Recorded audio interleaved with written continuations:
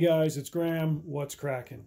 Uh, pardon the shaky video. My kids broke my tripod, so I'm actually holding it right now. It's a little bit steadier than just holding it in my hand. But I wanted to do another video for you, even though I had one hit the airwaves yesterday. Uh, it's rare enough that I read a book that I get really excited about, that I'm really impressed by, that I just want to share with everybody. And I figured, you know, why don't I just kind of channel that and share that excitement with you guys? And it is this book right here, Bust Hell Wide Open uh, by Mr. Mitcham. It's, um, it's a biography of Nathan Bedford Forrest, who was a Confederate general who, uh, if I'd heard of him earlier in my life, his name didn't really stick with me until about two years ago when uh, all those race riots were happening and um, statues were being vandalized and torn down all across the country. Even statues of men like George Washington and Thomas Jefferson you know, not just Civil War era men and not just Confederate men. It was it was happening everywhere.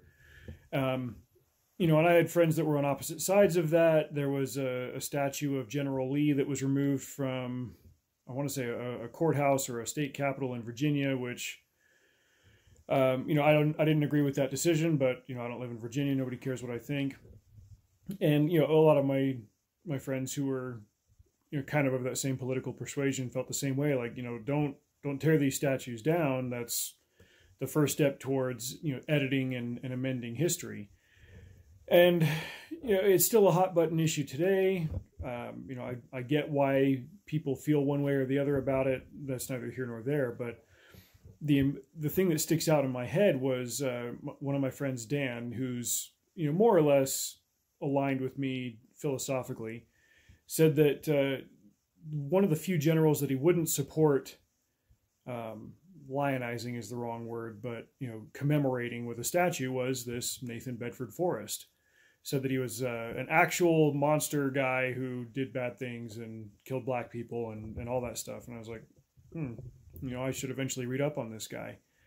Um, the only things that I really had read about him were in other Civil War books where he was just kind of mentioned in passing as this guy who was uh, an absolute beast on the battlefield. The Union feared him. Some of them thought he was just absolutely unstoppable and indestructible. And he had a talent for uh, making his troops' numbers seem greater than they were, and yada, yada, yada. And, you know, I figure in the military, that's a skill that you would want to have on your side, right? But the only other thing that was really mentioned was the fact that after the Civil War ended, he joined the Ku Klux Klan, and the Ku Klux Klan was running around killing black people. Um, and so that's the the general picture that I had of him was that you know he was this guy that joined the Civil War because he hated black people and he wanted to preserve slavery. And then when they lost, he was mad, so he went around and he still killed black people because that's who he was. Um, the picture that Mitcham paints of him in this biography is very very different, and he opens the book by saying he'd read a bunch of other stories about him, stories, you know, accounts, but they were more focused on his his military genius as it were. They had a lot less to do with the life of the man himself. So he set out to write a biography about Nathan Bedford Forrest. And as he dug extensively through the records that we have and the accounts of his, his life, he came to realize that the popular picture we have of this man is wildly inaccurate.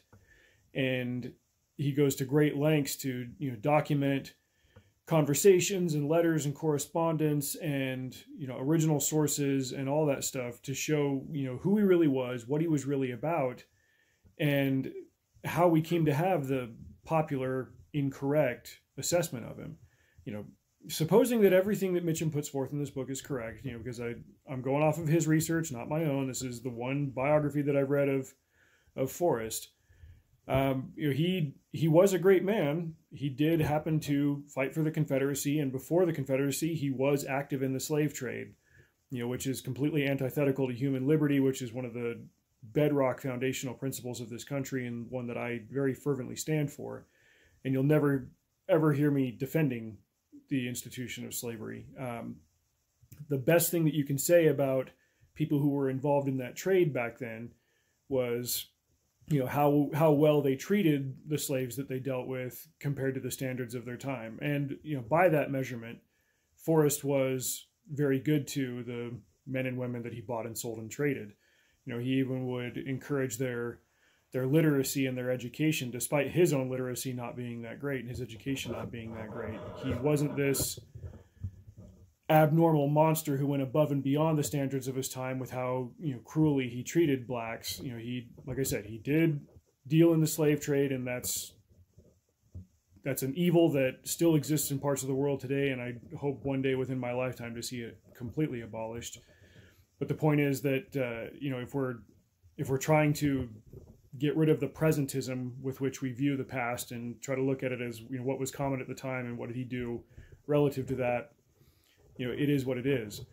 When he joined the Confederacy, it had more to do with the fact that uh, you know, and this is a popular view among Southerners, and specifically the ones that uh, that enlisted with the Confederacy to secede and fight against the Union. They viewed Lincoln as the aggressor in uh, you know that, that he made the first move in in what would become the Civil War. That uh, you know he encroached upon the South, and they fought back for their own sovereignty you get into the the numbers of it, the economic side of it. Um, you know, and Mitcham highlights that. He talks about the fact that you know the the South was X percentage of the population of the country, but they paid a vastly disproportionate amount of the taxes. Granted, that was off of non-staple crops like tobacco and cotton, whereas the North, you know, grew all of the food that they ate. You know, the, the South grew things that weren't needed but were very valuable and very expensive and everybody was hooked on. You know as, as much as the north might have had a uh, moral opposition to the institution of slavery they didn't really have a problem with wearing southern cotton and smoking southern tobacco. So these issues are never as clean and cut and dry as we in the moral 21st century vacuum would like to think that they were. Uh, a comparison that i frequently make with friends of mine when we're discussing this is you know, consider the digital device that you're using to watch this video right now, a phone, a tablet, a computer. Where was it built? Probably in a third world country, more than likely in China. And where were the materials gained for its construction? Very likely through uh, underpaid or involuntary labor. You know, what's the world going to think of in 150 years if you know the the People's Republic of China no longer exists in its current form, and they look back and say, "Wow, you know, people think that they were opposed to slavery in the 21st century, yet they were using all these devices that were built by slavery and cheap labor." It's would we want that same standard applied to us in the present day that we in the present often tend to apply to the past? But I'm getting into the weeds here.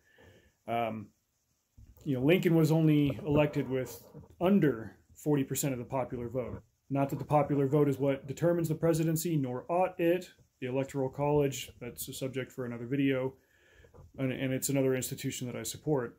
The point is that they viewed him as this man who was brought in by a, a minority of the population of the overall country, and then he immediately became an aggressor against them and their interests, and so they went to war to protect their way of life, which is predominantly the reason that anybody goes to war.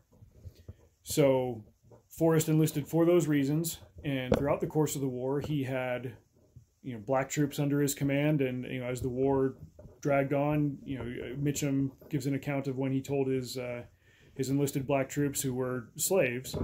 Says, you know, if if we win this war, if you guys fight with us and we win this war, I'll free you. If we lose it, I'll free you anyway.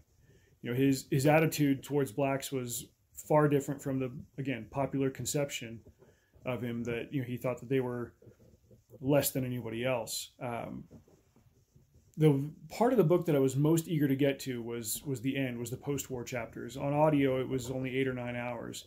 I bump up the speed a little bit. I tend to do that when I listen to audiobooks. I was very curious to see what Mitcham had to say about Forrest's time as a member of the Ku Klux Klan. And I think he was very fair and even handed with it. And he went so far as to you know, not advocate for it, but explain why its original inception, like its original version, appealed to Forrest, and then why he later left it when it became more commonly what we know it to be today. Um, it was originally a, uh, a, nationalistic institution that was dedicated to the preservation of the Constitution of the United States, which is a completely defensible position. But then, as as more people joined and other outside interests came in and took hold of this budding power structure, it became a, a more racially based system, uh, a more racially based group, and he wasn't on board with that, and he left. So the the assessment of it, you know, as I mentioned before, the one in that uh, that book that I read that talked about Civil War era figures, the assessment of it, where it says that you know Nathan Bedford Forrest fought for the Confederacy, and then after the Confederacy, or after the Civil War, he joined the Ku Klux Klan, and the KKK went around killing black people. All those individual things are technically true, but it paints a picture of Nathan Bedford Forrest hating black people so much that he joined the KKK after the war to go and murder them all. And the facts, as Mitcham presents them in this book, show that to be inaccurate. And even go so far as to show uh, times when he met with um, members of a Baptist church. I'm already forgetting in what town it was, but he. Uh, oh, man, the the quote when this when I listened to the quote as I was just at, at work this morning, it just made me think like, this is the kind of thing that this man should be known for. The fact that he he wanted to put the conflict between blacks and whites in the past, and you know he, he wanted them all to be considered members of the nation as much as any whites were. You know, we are we are one people. We have one flag. We are one country, and it is if if all that bears out to be true, which I have no reason to think that the research Mitcham did is inaccurate. If all that bears out to be true, we're doing a grave injustice to the memory of a man who wanted to make amends for his role in the division of the country during the Civil War.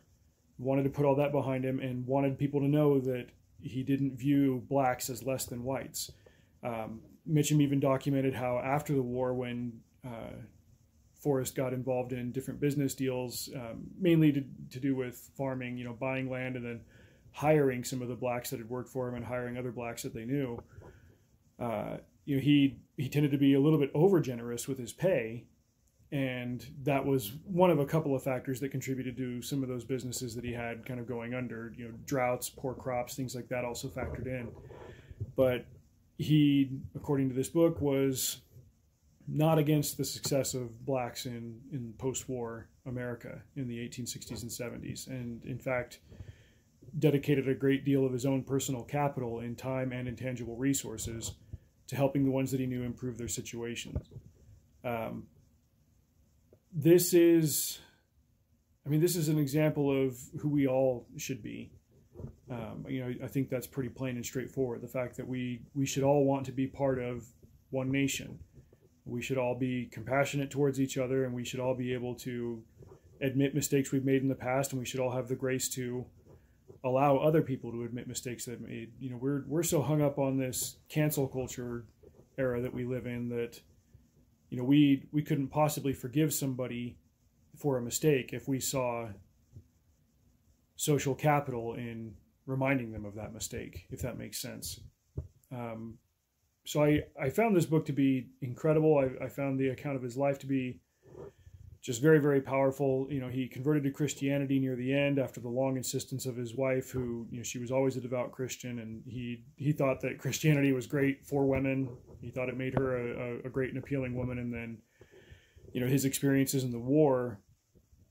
I wouldn't say that they necessarily softened him up, but they they gave him a fuller sense of being that kind of drove him to you know wanting that relationship with God that his wife had, and uh, that played a key role in the view that he took then of other people, especially the view that he had of of blacks and you know wanting them to to move forward and, and be one nation, you know, white or black, regardless of of any of that. So, uh, man, I could talk for another 14 minutes on this if if I really put my mind to it, but I'll I'll leave it at that because Mitcham's words and his construction of the uh, information that he found and the research that he did merit their own study. If you've read this book, let me know what you think in the comments. Um, and if you haven't read it, man, go grab a copy from your library. I've got an Audible subscription, and it's one of those books that was uh, included with the the membership. They've been doing that a lot more over the last couple of years, I guess.